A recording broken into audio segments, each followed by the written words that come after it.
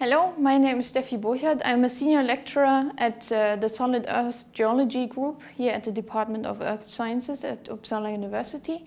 And my research deals with volcanoes because uh, volcanoes are not only beautiful and magnificent structures, but they are also dangerous.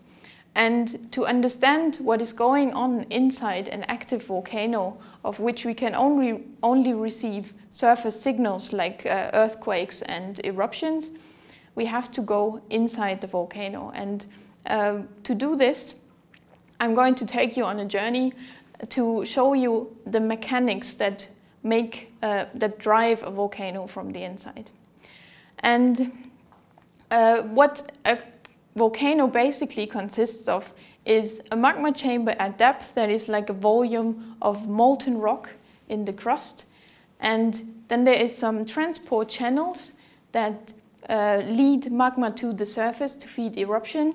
We have uh, a conduit, like a channel that is feeding big eruption at the summit of volcanoes. And we have the flanks of a volcano that um, are built up of eruptive products. The volcano, to study it from the inside, we have to um, use extinct and eroded volcanoes.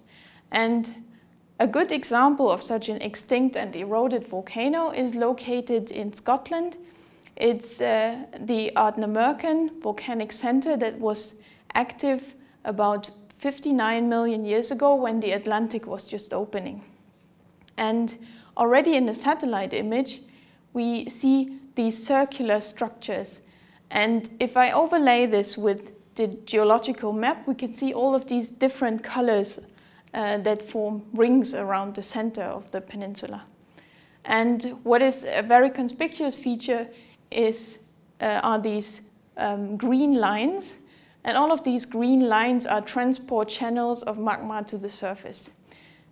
They have a very specific uh, geometry and are therefore called inclined sheets because they are inclined towards a common center, that is the magma chamber, and is not exposed at the surface today, but is somewhere at depth. So they form something like uh, an inverted cone or cocktail glass geometry. And we can use this geometry when we measure their trace at the surface and when we measure their orientation and we can deduce the location of the magma chamber that fed them from depth. And this is what I have done in a, re recent research pro uh, project and uh, I have prepared a little video to illustrate this. So what we can see in this video is, first of all, we look at it from uh, the from a map view, and we see all of these white lines. These are the traces of the sheets. Then we uh, see at depth, uh, we see how they are projected. And what is clearly visible is that they seem to, most of them seem to converge towards a common source. And this common source is the location of the magma chamber. And I've illustrated this as this uh, purple ellipsoid. And what you can see here is that the magma chamber that was feeding this volcano was kind of uh, a big volume between 1.5 and 3.5 kilometers below today's surface and was considerably big uh, and long-lived. So what can we learn from research uh, that looks inside volcanoes? First of all, we can deduce something about uh, the location, size and shape of magma chambers at depth that we cannot access.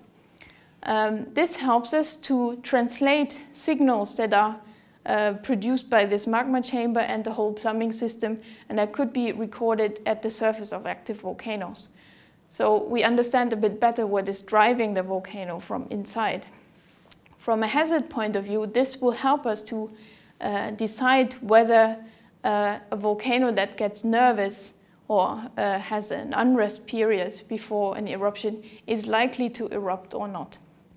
So this is why we look inside volcanoes.